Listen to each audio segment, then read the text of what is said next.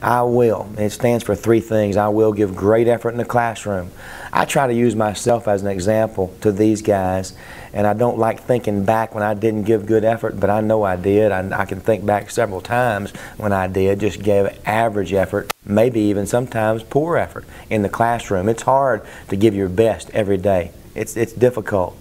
And uh, we, we push our guys and we want them to be reminded every day to give great effort in the classroom so that if they're capable of making an A, they need to make an A. This is a resume they're going to build. It'll be with them forever. It's going to be the resume, their transcript, their grades. Uh, football is going to help them too because they're going to look on there, they're going to see that extracurricular activity, football, on a championship caliber football team in college, the sacrifices that you make. Uh, when I was at Rice, one of the elite colleges in the in the country. Um, we had a job fair, and I learned this through their job fair. The people that came to interview those people, those Rice graduates, they looked for a football player first. And a lot of that has to do, and, and it goes with everywhere. Uh, people want team players, and uh, business want team players, businesses across the country. And then those who can get it done in the classroom as well um, they're going to get a job. They're going to be able to, to move on from football. It's not going to last forever. I will promote a positive image. That's number two. Promoting a positive image is so important because football is the ultimate team sport. We also see that um, a mistake by one player can affect us all. Uh, maybe, maybe a big mistake, maybe just a little mistake, but everything is watched so importantly by everybody around. And especially since we're moving to Division Two, more eyes will be on these guys, the Mississippi College football team, than ever before. But usually when it comes out in the paper, it's Mississippi College football player is in trouble or something like that. It also goes when we do something good.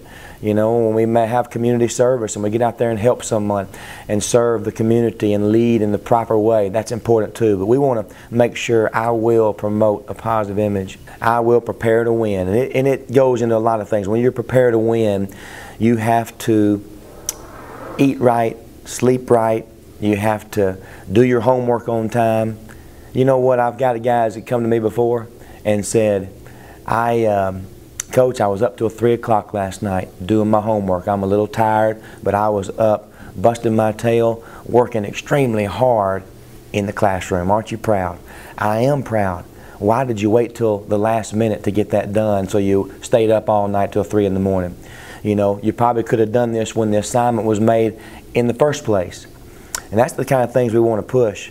We want to make sure that we're preparing to win academically, getting things done, getting our sleep, making sure that when we get on that field, we're able to be the best that we can be. If I allow a teammate to make a poor decision, I see it happening, that's not my job, is what he says. But you know what? A week later, it becomes a distraction because the mistake that was happening, I could have stopped. I could have attempted to stop. That distraction causes us to get beat by an inch.